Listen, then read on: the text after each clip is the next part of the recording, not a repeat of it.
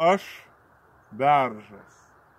Lietuviškas beržas, išbridęs iš pievų nakties, sustojo ant mūšių didžiausiojo kelio, su plieno dalgiu ant pėties.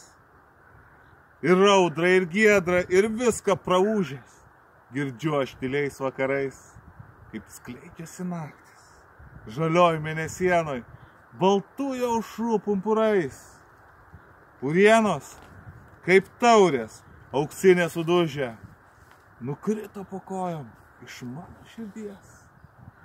Aš viską praūžęs, rūkai susirūkęs, geriu žalę vyną nakties, geriu žalę šilą, geriu žalę tylą, geriu ir apsvaigęs einu. Negaila man aukso, negaila sidabro, tik tų prauštųjų dienų.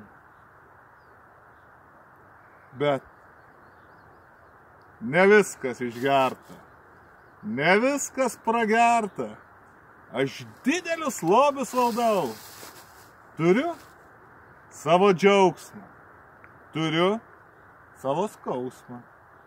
Ateik, dovanosiu ir tau.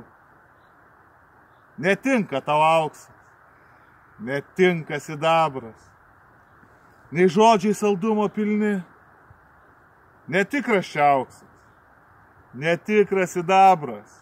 Ir deimantai tie, netikri, bet skleisis dar naktį žalioj mėnesienoj, baltų jaušų pumpurais.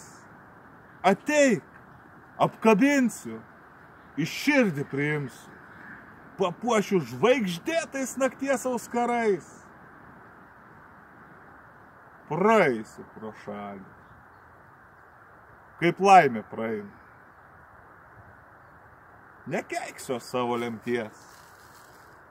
Aš beržas, lietuviškas beržas, su plieno dalgiu ant pėties.